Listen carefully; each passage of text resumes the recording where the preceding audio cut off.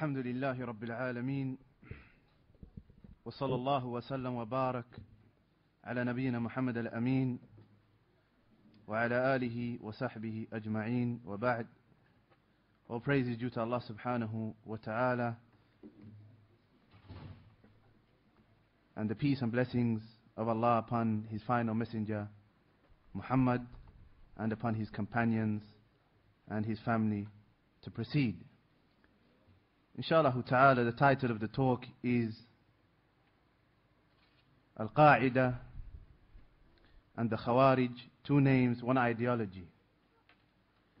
And this talk, basically it is taken from a well-known story which is present in the book Al-Bidayah wa Nihaya, a book that deals with the Islamic history from the beginning to the end by Al-Imam Al-Hafiz Ibn Kathir.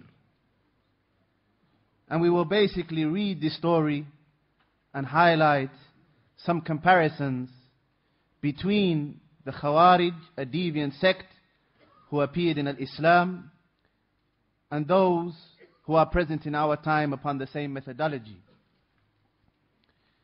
And before we start, it's befitting that we reply to a doubt that has been spread in the various communities by the misguided group known as Hizb ut-Tahrir. When they have stated that there is no such thing in Islam as an extremist. Again, this shows the ignorance of this group and their lack of understanding of the texts of the book and the sunnah. Because whether they fail to recognize, or maybe it's due to them actual, actually being ignorant, the Prophet ﷺ spoke about extremism. In one hadith, the Prophet ﷺ said, upon the authority of the disciple, the companion, Abdullah bin Mas'ud, قال رسول الله, the messenger of Allah said, هلك المتنطعون قالها ثلاثا. The Prophet said, those who go to extremes are to be destroyed. Those who go to extremes are to be destroyed. Those who go to extremes are to be destroyed.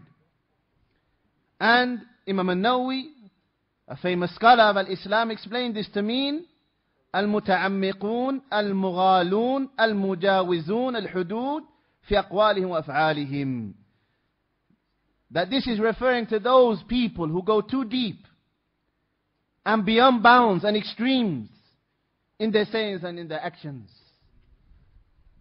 And the Khawarij and Al-Qaeda and Hizb tahrir are from those extremists. And another hadith, the Prophet sallallahu alaihi wasallam said, إياكم والغلو في الدين. Beware of extremism in the religion. فإنما أهلك من كان قبلكم الغلو في الدين. Because verily that which destroyed those who came before you was extremism in the religion. So, returning to the story, and the story relates to the killing of Ali ibn Abi Talib, who was the fourth Khalifa following the prophetic guidance of Muhammad sallallahu alayhi wasallam and the belief of the people of the Sunnah is that he was the fourth best companion from the companions of the Messenger of Allah sallallahu alayhi wasallam.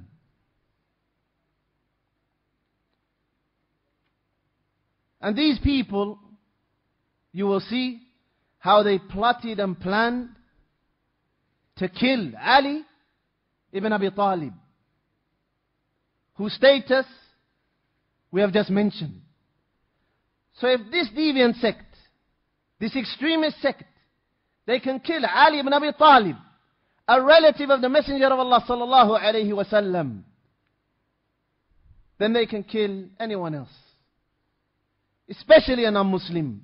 They will find it easy and simple. Why? Because they do not value life. So the story is mentioned by Ibn Kathir in volume 7, starting upon page 327 in his book Al-Bidayah wa Nihaya. And he said, it is mentioned that three individuals from the Khawarij, and their names were Abdurrahman ibn Amrin, who was known as Ibn Muljam. And pay attention to this name. Because you will hear about this individual, that which will surprise you and amaze you. Abdurrahman ibn Amrin, who was well known as Ibn Muljam. And likewise, Al-Burak ibn Abdullah al-Tamimi and Amr ibn Bakr al-Tamimi. So these three individuals who are from the head of this deviant sect known as the Khawarij, whom the Prophet ﷺ said about them, they will not cease to appear, meaning they will continuously appear until you find the latter part of them fighting with the Dajjal. They gathered together, these three,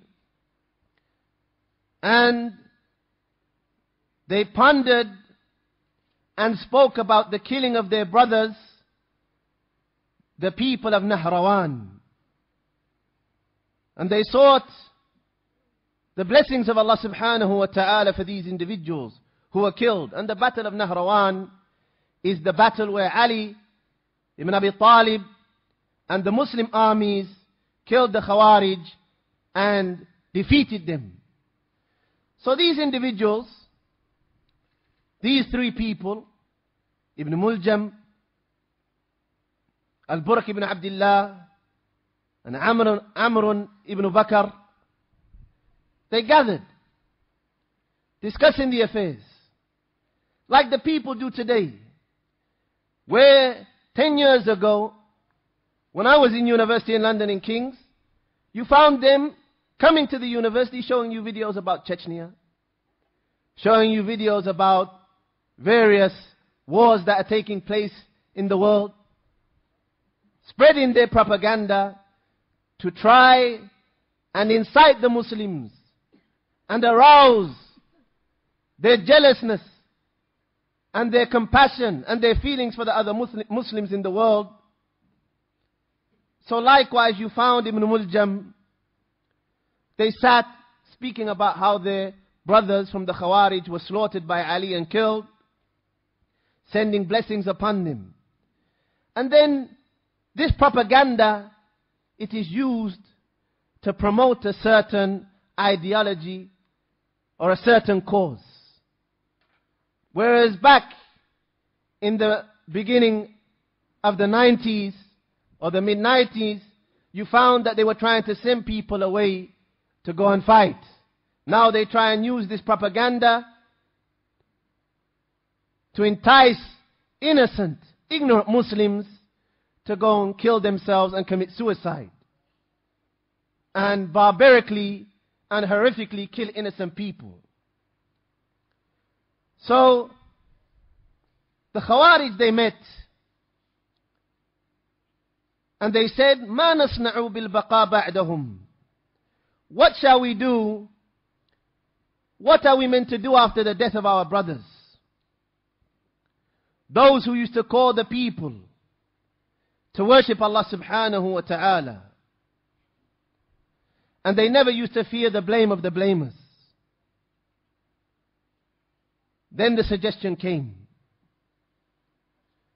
They said, فَلَوْ شَرَيْنَا أَنفُسَهُمْ فأتينا إمة الضلالة فقتلناهم فأرحنا منهم البلاد وأخذنا منهم الثأر. They said, if we were to give up our lives and approach the imams of misguidance and try and murder them, then we would free the lands and we would have obtained revenge for our brothers. Look at this. Who are they referring to here? The Imams of misguidance, they're referring to Ali ibn Abi Talib, Muawiyah ibn Abi Sufyan, from the companions of the Messenger of Allah sallallahu alayhi wasallam, whom the Prophet said about the companions, خير الناس قرني, the best people are my generation. And the Khawarij referred to them as what? Imams of misguidance. So you see again, here you had the Khawarij secretly gathering, plotting and planning, no different to today. Where the Khawarij, they gather and they plot and they plan. So then this individual, Ibn Muljam, he said, Ana ukfikum, me I will take care for you. I will take care of Ali ibn Abi Talib, meaning I will kill him. And Al-Burak ibn Abdullah said, me I will kill Muawiyah ibn Abi Sufyan. And Amr, he said, I will kill Ibn al-As. Again, arranging to uh, assassinate and kill innocent people. And shed the blood here of the companions. And this is a nukta, a point that we really need to focus upon. If this extreme and deviant sect can kill the companions of the Messenger of Allah, who the Muslims hold to be the best of the people after the prophets and messengers, then it's easy for them to kill anyone else. Simple. They don't have to think twice. So then, these three individuals, they took pledges from one another and they agreed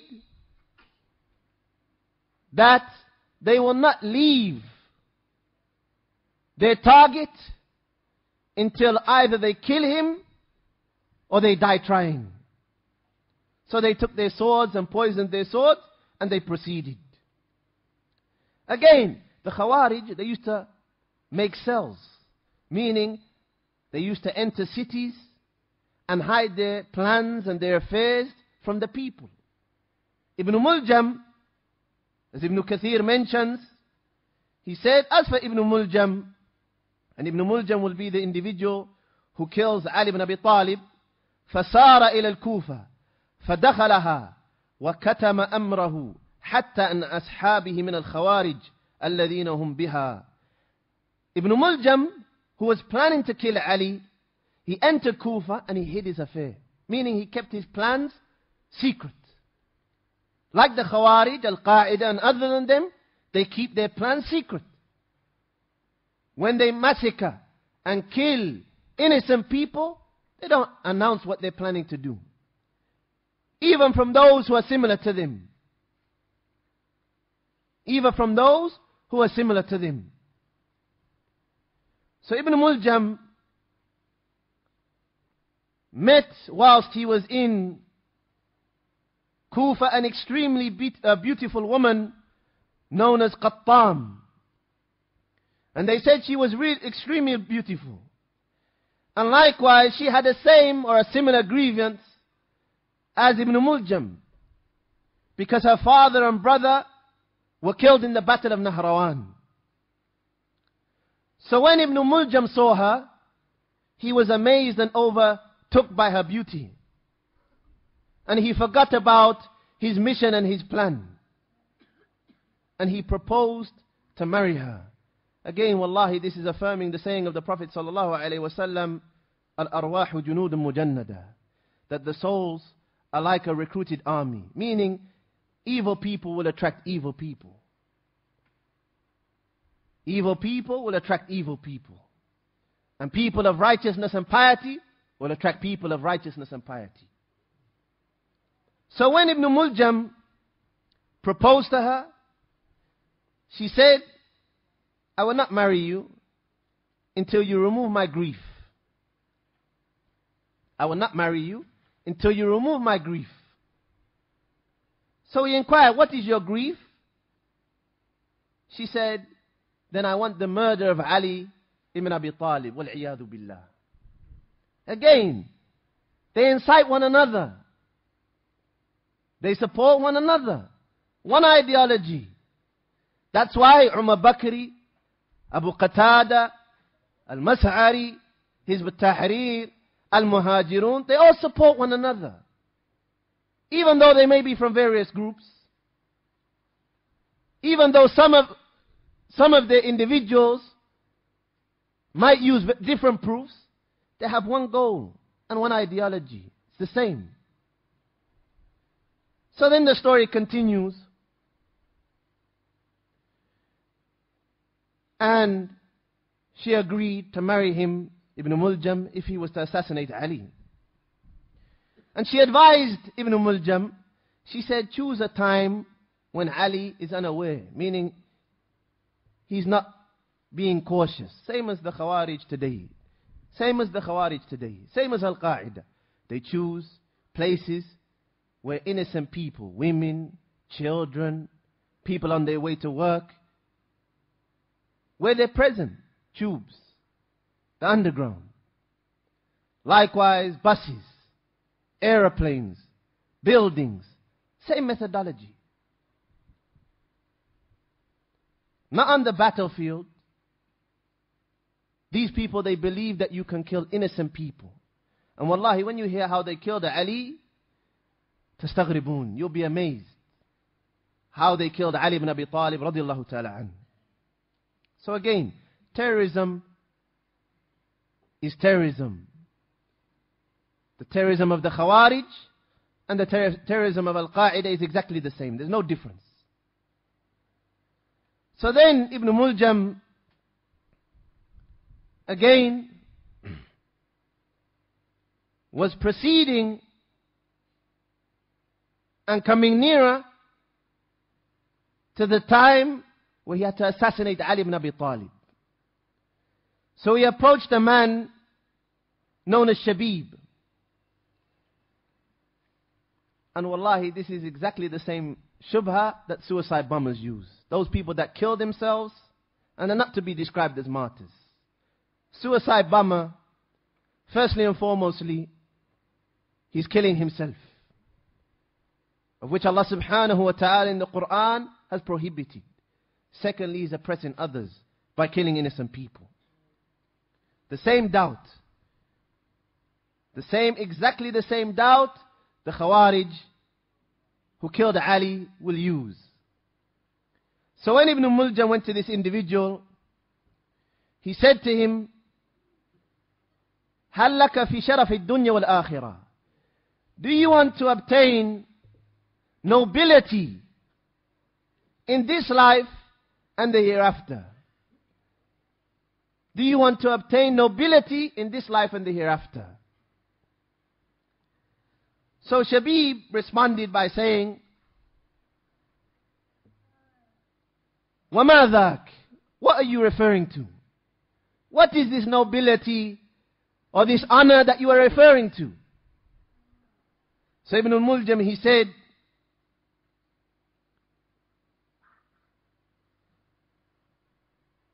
قتل Ali.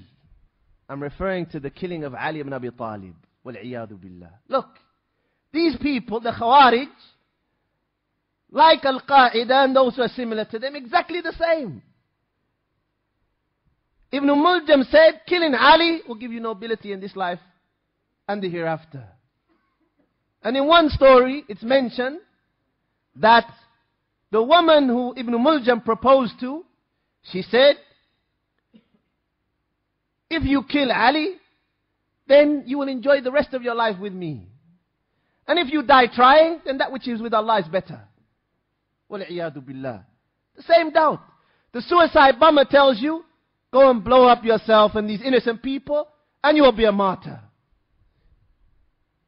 Wallahi, they will have a surprise because we know they're not a martyr. How can they be a martyr when the Prophet ﷺ said, Man qatala nafsa, whoever kills himself, then he is in the hellfire eternally forever and ever. Whose statement do we take? So then the story continues. Again, the Khawarij, they have doubts and misconceptions that they use to convince the people, those who are ignorant. And that's another important point. That the Khawarij, they prey upon ignorant people, people who don't understand their religion. That's why you found Hizb al-Tahrir and Al-Muhajirun, where was their focus in the 90s and, in, and likewise at the beginning of this year and last year and the year before last? Where was their primary focus? Who can answer? Universities. Universities. Why? Because the people in university, The majority of the time you would find them unaware and not really understanding the religion. Yes, they were Muslims, but they didn't have the grounding and understanding that would be needed to repel and refute the doubts of these people, even though their doubts are weak. So when people ask, why is it that we find British born citizens blowing up themselves? Then the answer is because you allowed Umar Bakri to preach in the university for the last 10 years. And other individuals who are like him. Yes, Alhamdulillah, you prevented Umar Bakri from entering this country. This is a good thing, but it's too late. Ten years too late. Because the seed has already been planted. And what will you do with the British Umar Bakri? Or the British born Abu Qatada? How will you deal with them? Because now the ideology has started to spread amongst ignorant imbeciles who glorify that which took place in London and that which took place in America on 9 11. So then,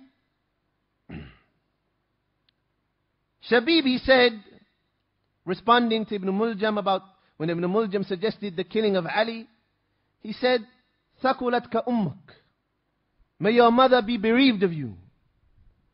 Indeed, Shabib said to him, You've come with a terrible thing. You've come with a terrible thing. How can you kill Ali? How can you kill Ali? And this individual, Shabib, he found it difficult to approach and try to kill Ali because he recognized Ali was a relative of the Prophet sallallahu. He was a companion of the Prophet sallallahu. Ali had many fada'il virtues which were known to all of the Muslims. So he said, really, I don't find myself comfortable with attempting to kill Ali. If it was only somebody else.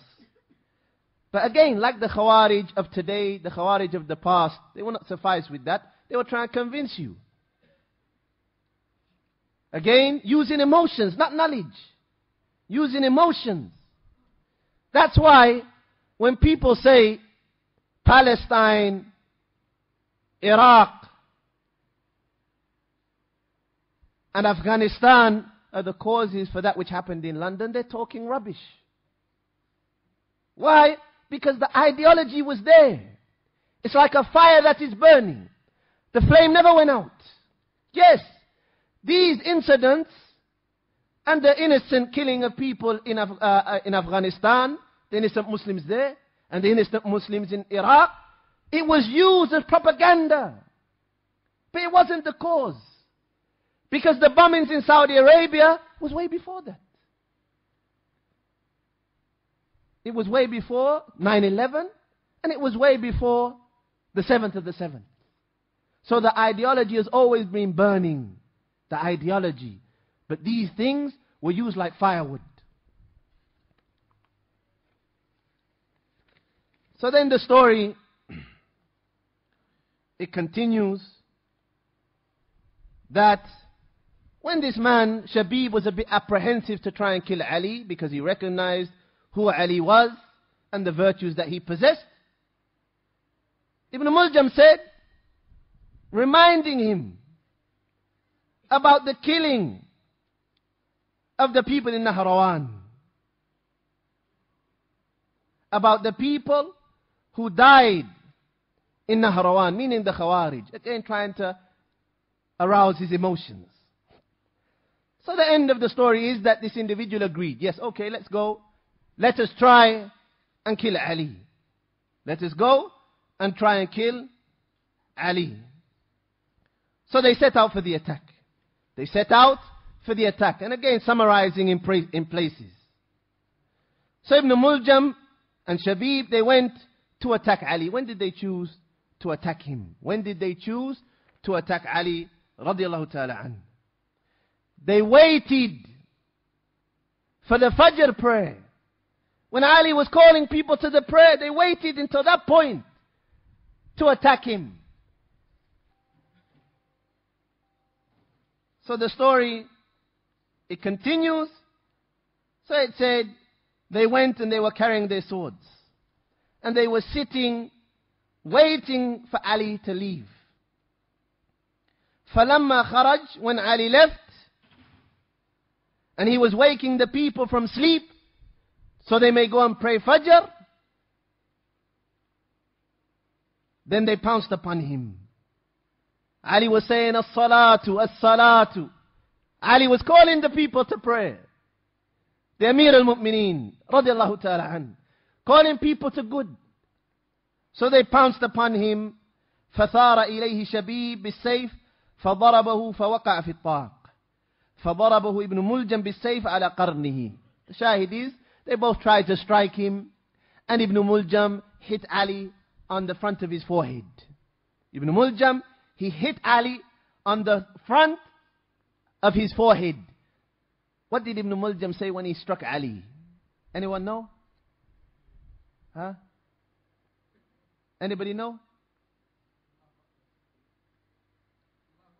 He said, لا حكم إلا لله ليس لك وليس لأصحابك He said, like the Khawarij today. Ibn Muljam when striking Ali, this noble companion, relative of the Messenger of Allah sallallahu alayhi wasallam. The Prophet sallallahu alayhi wasallam described Ali to be an individual who loved Allah and Allah loved him. He struck him on his forehead. He said, there is no judgment except for Allah. Not for you, Ali, and not for your companions. And that's what the Khawarij use to make takfir upon the Muslim rulers. The exact same doubt. So if this is not sufficient for anyone with two ears to understand and recognize that the Khawarij of Al-Qaeda and the other groups today are the same as the Khawarij that killed Ali ibn Abi Talib in terms of their ideology. In terms of their ideology. Then, so فسال دم على لحيته رضي الله تعالى عنه Ali, the, his blood came down upon his beard, pouring upon his beard. And likewise, Ibn Muljam as Ibn Kathir, he mentions, وَجَعَلَ يَتْلُ قَوْلُهُ تَعَالَى When striking Ali, he read a verse. وَمِنَ النَّاسِ مَنْ يَشْرِ نَفْسَهُ And from the people you have those who sell themselves ابتغاء مرضات الله والله رؤوف بالعباد you have from the people those who sell themselves, seeking the pleasure of Allah, and Allah is full of kindness for His servants. Look, same Al-Qaeda of today, they believe that blowing up themselves and killing innocent people in America or in Britain, or in Saudi Arabia, or in Egypt, or in Yemen, or in, or in Palestine, or anywhere else in the world, the Khawarij of today, Al-Qaeda, and those like them, they believe that they're obtaining the pleasure of Allah subhanahu wa ta'ala.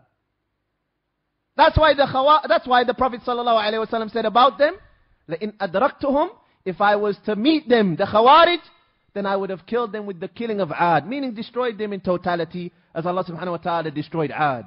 And again, this is for the Muslim rulers, and not for anyone to take this upon and understand this text uh, the way that they desire.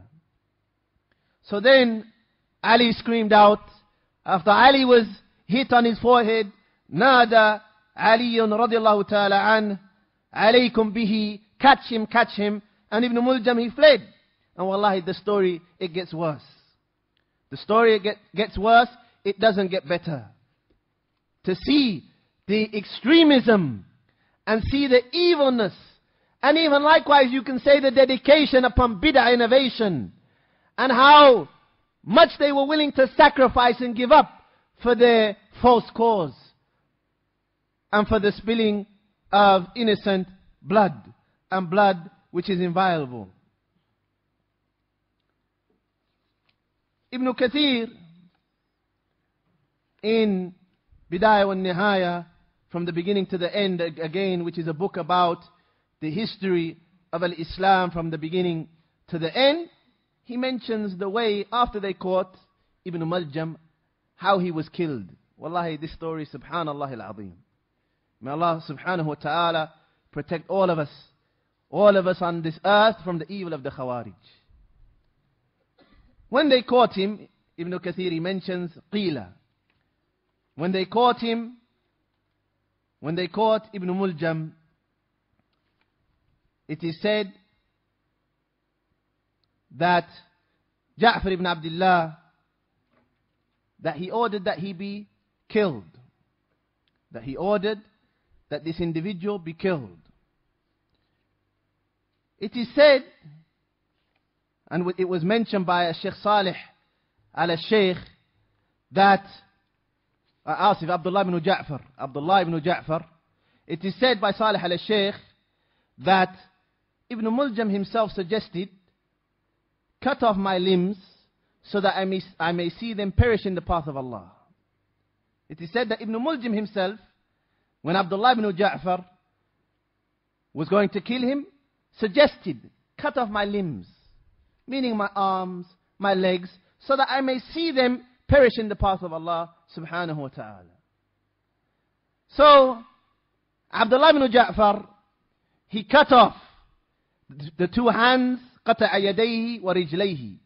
Cut off the two hands of Ibn Muljam, and likewise his two feet, and pulled out his eyes. وهو مع ذلك يقرأ سورة اقرأ باسم ربك الذي خلق. Abdullah ibn Ja'far, he cut off the two hands, the two legs, and he pulled out the two eyes of Ibn Muljam. And when all of this was taking place, Ibn Muljam was reading the surah, اقرأ باسم ربك الذي خلق. Read in the name of your Lord who has created you. To the end of the surah. Ikhwa, isn't this hulu? Who could tolerate that pain? And at the same time, when your arms are being cut off and your feet are being cut off, he's reciting, read in the name of your Lord who created you. Read in the name of your Lord who created you. So when ثم جاءوا ليقطعوا لسانه فجزع when they came to cut off his tongue they came to cut off his tongue now he started becoming uncomfortable and scared so most probably the question is coming to all of us why would he be scared? He already his legs have been cut off, his hands have been cut off. Why is he scared about his tongue? That seems simple. That should be easier than that which has taken place. Ibn Muljam, he said, قال إني أخشى أن تمر علي ساعة ولا أذكر الله فيها والعياذ بالله. he said, I fear that an hour will pass me by and I will not be able to remember Allah subhanahu wa ta'ala. Look how deep these people are. That's why a person shouldn't be fooled by the length of somebody's beard or how much he prays or how much he fasts. Because the Prophet ﷺ told us the Khawarij will be people of worship, ibadah. He said to the companions, you will look down and you will belittle your prayer compared to their prayer. Your recitation compared to their recitation. You will belittle your fasting compared to their fasting. Likewise, the Prophet ﷺ said that they will recite the Quran but it will not pass their throats. Meaning Ibn Muljam here, reciting the Quran, but they did not understand the Quran. It was in the way or in the manner it was meant to be understood. Ibn Muljam here was reciting the Quran. But if he understood the Quran in the manner that the Quran was meant to be understood, he would have never have laid or made one footstep in the direction of killing Ali ibn Abi Talib radiallahu ta'ala anhu. ثم قطعوا لسانه then it's mentioned that they cut off his tongue.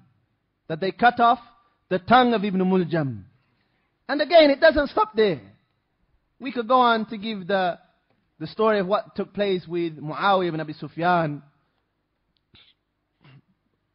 But inshallah ta'ala, we'll suffice with that. But there's one more point. How Al-Qa'idah and the Khawarij of today imitate and resemble the Khawarij of the past.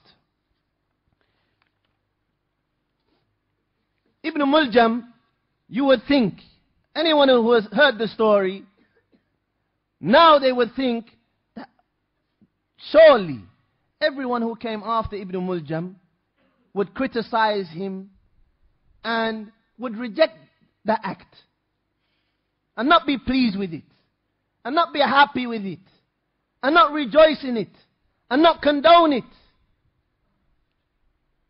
That's what you would assume. But la, that's not the case. The Khawarij, it's mentioned, وقد امتدح ابن ملجم بعد الخوارج المتأخرين في زمن التابعين. Some of the Khawarij, some of the Khawarij, they praised Ibn Muljam in the time of the Tabi'een, meaning those who came after the companions, the successors to the disciples of Muhammad sallallahu alayhi wasallam. وهو Imran ibn Hittan. The individual known as Imran ibn Hittan. And this man, it was known at one point that he was upon the Sunnah, meaning he was from Ahl Sunnah. What happened to him? He married a Kharijiyah, a woman who had the belief of the Khawarij, and she influenced him and convinced him, and he ended up believing and drinking from the same fountain as they drank from.